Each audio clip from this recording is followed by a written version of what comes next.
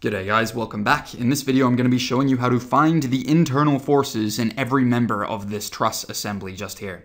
This is a 300 Newton force, this is a 700 Newton force, and this is a 400 Newton force. Find the internal forces in each of these members and state whether they're in tension or compression. Okay, well hopefully you've had a shot at this yourself first, and now you're just looking at my solution. So here's what you should have done. Step one should have been to draw the free body diagram. So you want to draw a free body diagram of this truss and replace these supports with external forces. So this is what it should look like. If this right here is our truss, just like this, I'm not much of an artist, but it looks something like this. And we've got an end bit just here. Okay, then we're going to have a couple of forces. Let's start off with the pin supports. Because A is pinned, that means you're going to have both a vertical and a horizontal force. I'll call this a Y, and I will call this a X. Likewise, because this is also a roller support, you just have a vertical reaction force, which is going to be Fy. Okay? Now, we also have a whole bunch of external forces acting on this thing. We've got the 300 Newton force, 400 and 700, so let me quickly draw them on. I'm just going to choose a different color to distinguish them. This is going to be 300 newtons. This is going to be 700 newtons down here. And this is going to be 400 newtons just here. Okay, Newton, Newton, Newton. Fantastic. Okay, so that's step one done. Let's see if we can get involved in step two. So step two is to find the reaction forces. That's AY, AX, and FY. So let's do step two. So we've completed this. Step two is find reaction forces. Okay, so that means we need to find AX, AY, and FY. Let's do that. And the way we do it is by using the sum of forces acting on our truss in the X direction is equal to zero. The sum of forces acting in the Y direction on our truss is equal to zero. And the sum of moments about any point is going to be equal to zero, right? And that's because our truss is neither accelerating nor rotating. So it, it abides by this. And, and this is the these are the three main equations used for all of statics. But anyway, so we, we're going to apply the sum of forces in the x direction first is equal to zero. What, what does that mean? Well, we've got ax to the right. So we've got ax to the right, so it's positive. I should clarify here that I'm abiding by this axis. This is what I'm going to consider positive. This is what I'm going to be considered positive, right? Positive to the right and positive upwards. So that's AX, positive because it's to the right. Then we've got plus 300. It's positive because it's also to the right. Now, are there any other forces which are acting in the horizontal plane or in the X direction? None, right? So we're done, and that means we can say that's equal to zero. Already, we found an answer. We found AX, that's the reaction force at A in the X direction, is equal to negative 300 newtons. Already we found an answer, so we're off to a good start. Now let's apply this one. Let's apply the sum of forces in the y direction is equal to zero. Okay, well we've got quite a few, so let's tackle this one by one. We know AY is in the positive y direction, so let's write that down. We know that's going to be positive AY. Let's see, this 700 Newton force is acting downwards, which is negative by our convention, so it's going to be minus 700 right? This 400 Newton force is downward, so it's going to be negative, so it's going to be minus 400. And this Fy is positively upwards, so it's going to be positive uh, F subscript y, and that's going to be equal to 0. Let me draw that in white. I want to keep the color consistency. And that's going to be equal to 0. Okay, fantastic. There's not much we can do with this formula. We've got two unknowns in one equation here. We need something else. So let's let's Ignore this for now and jump straight to the sum of moments about any point is equal to zero. So let's do the sum of moments about some point. I'm going to choose point A is equal to zero. Now you could choose any point. I think you'd agree with me by the end of this video that A would have been the easiest one to choose, but don't feel constricted to that. You could have chosen D, B, C, E, F, or any other place on this entire free body diagram, really. Okay, so the sum of moments about point A. Well, we've got three forces down here which are going to produce moments. All the others will produce no moments because they pass through point A. We've got this 700 Newton force acting downwards, right? So that will be positive by this convention. If I consider clockwise positive, then this 700 Newton force will produce a positive moment of 700 times by the perpendicular distance, which is this distance just here, which in this case is just 4 meters, right? We're also adding that to, we're adding that to 400 400 times by its perpendicular distance, which is going to be 4 plus 4, which is 8. Right? Notice what I've done here. The 700 Newton force will have a tendency to rotate um, this truss about point A, about point A in the positive clockwise direction. That's why it's positive. And what we do is we get the magnitude of the force and we times it by its perpendicular distance. That's all we're doing.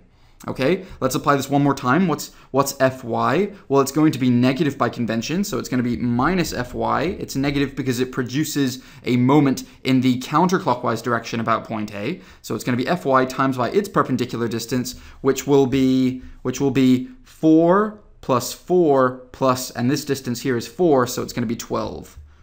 12. And that's going to be equal to 0. It's going to be equal to 0. Notice that AX, AY, and this 300 Newton force do not provide any moments because they pass through point A, right? And, and, and, that, and that's the main reason I chose point A, to, to simplify the work. Okay, so if we were to plug this to our calculator, what will we get? We will get Fy, we will get Fy is equal to 500 newtons. That's from solving this equation above right? So we found Fy, which means then that we can now find Ay from that. We can actually plug in Fy is equal to 500 to solve this, and you will get 600 newtons. Fantastic. All right, so so far we've already found our reaction forces. We found AX, we found AY, and we found FY. These are the only reaction forces we have. We're done. That's good. Now we're ready to start in the meat of the question. Now we're ready to start analyzing individual joints to determine what the internal forces are. So let's write this down. Let's write this down as step three is to analyze, analyze a joint. And it's up to me which joint I choose, but I will choose joint A because I think it'll be the easiest. It, either joint A or joint F would be the easiest because we already know a lot of the forces acting on them and there's only two members at a time we need to analyze. Okay, so now we're analyzing joint A. All we need to do now is draw a free body diagram of the joint. So if, watch this closely, what I'm gonna do is I'm going to focus on this section of our truss, and I'm going to make cuts here and here, and I'm going to replace the pin support with external forces you've got just here. So this is what the free body diagram will look like. It'll look like this. We'll have our normal member, AB and AD, and we've made a cut just along here, a finite size cut just along there, and because we've made a cut, the internal forces now will be popping out. This will be the internal force AB, and this right here, let me, let me zoom out a little bit to make some space, and this right here will be the internal force AD, okay? Not only that, but we also have some other external forces, because we've replaced the pin with, this, with, with these forces, we need to draw them on too. This is going to be AX, and this right here will be AY. Okay. We're not completely done with the information of the free body diagram. This is at some arbitrary looking angle, so let's, let's call this angle theta and find out what it is. Well, this angle here is that same angle, so this is going to be theta, and what's that? Well, um, let's see if I can find some space. I'll probably write it down here. If we create a triangle between A, B, and D, it looks like this, where this is theta, this right here is a length of 3. This right here is a length of 4, which means that tan theta is equal to opposite over adjacent, which is 3 on 4, which means theta is equal to inverse tan 3 on 4, which is equal to 36.87 degrees. Okay, we're going to be using that soon. So when we're analyzing a joint, what we need to do is we need to take the sum of forces in the x direction and the sum of sorry, forces in the x direction and the sum of forces in the y direction is equal to zero and apply them simultaneously. So let's do this one at a time. So so we're gonna start with um, let me let me scroll down a little bit. We're gonna start with the sum of forces in the x direction is equal to zero is equal to 0? Well, we've got ax in the positive x direction, so let's write this down as ax. We've also got AB in the positive x direction, so that's going to be plus AB. And we've also got the component of AD in the x direction as well right? And I, I, won't do this for every single joint, but just, just for this first one, AD is at this angle just here, which means it has a horizontal component just here and a vertical component just here. And if this is theta, if this is theta and this is AD, that means the vertical, the, sorry, the horizontal component is going to be AD times by cosine theta. That's from trigonometry, right? It's the length of this side. So that means we're going to be adding that to the component of AD in the horizontal direction, which is going to be AD cosine cosine theta. I hope that makes sense. Okay. So that's the horizontal direction sorted. We can't do much with this. We've got two unknowns and one equation. Oh, and that's equal to zero. So we might need some help from another equation. Let's do the sum of forces in the y direction is equal to zero. Well, we've got AY in the positive y direction. That's going to be plus AY. We've also got AD, or at least the component of AD, in the negative y direction. So that's going to be minus AD sine theta. Sine theta. It's sine theta because that's the component of AD in the y direction. And that's going to be equal to 0. All right, when you solve for this, we can simply say that AD is going to be equal to AY on sine theta. We've already found AY here, so when you plug this into your calculator, you're just going to get AD. AD is going to be equal to, let's see, it will be 600 divided by sine 36.87, which is exactly 1,000 newtons. Okay, now this is the tricky part. Is it in tension or is it in compression?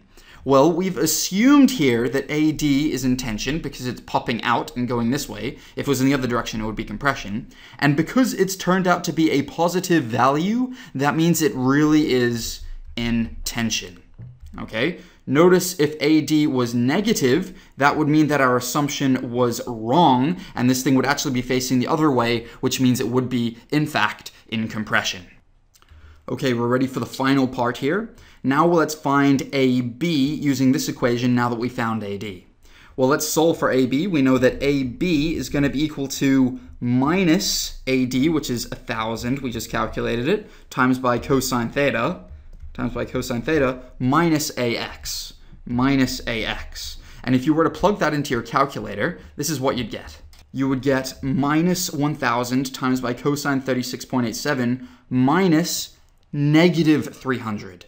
So let me write this out value for value. This would be minus 1,000 cosine 36.87 minus minus, or if I could just write plus 300, right? And when you plug that into your calculator, you're going to be left with minus 500 newtons. That's A, B.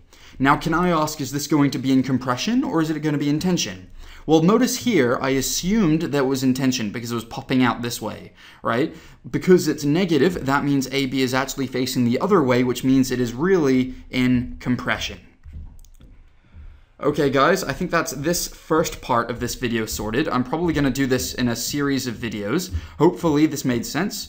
Um, come along to the next video so I can solve for each of the other forces in this. Cheers guys.